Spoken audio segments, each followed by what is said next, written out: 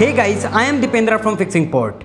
Due to the need of time and the situation, the e-commerce platforms are evolving and they are even occupying a huge portion of the market.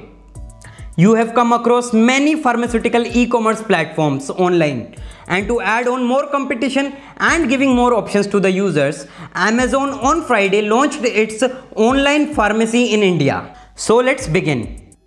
Amazon had started this online pharmacy for the southern city of Bengaluru and in the future they are planning to extend this service to the whole city.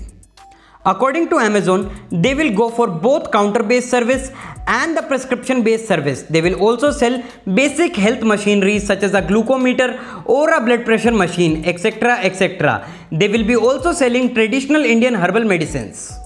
This move of Amazon comes amid the increasing competition with other e-commerce giants such as the Walmart owned Flipkart which recently launched a 90 minutes fast delivery. We have also made a video on this fast delivery system of Flipkart and you can find the link in the description box below. The other competitions are the Reliance owned JioMart. Amazon has been increasing business in India as well as world by opening online grocery stores, providing music and entertainment to the users. In the last month, they decided to open 10 warehouses in India and they also entered into the auto insurance business. They also secured the license to sell liquor in the state of West Bengal. Although the Indian government has not yet regularized the e-pharmacies or the online selling of the drugs, but there are other companies in the market which are increasing the competition. These companies are NetMeds, PharmEasy, etc. etc. And they are also becoming a huge challenge for the traditional offline drug stores or the chemist stores.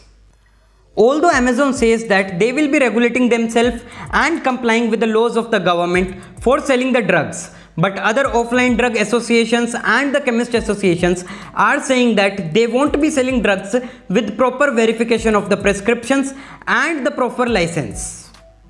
A chemist association said that it will raise objection to this move of Amazon with the government of India.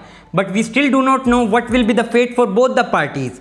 I hope our video helped you and if our video helped you then please like our video and subscribe to our YouTube channel for amazing tech videos. Thank you guys. See you guys in the next video.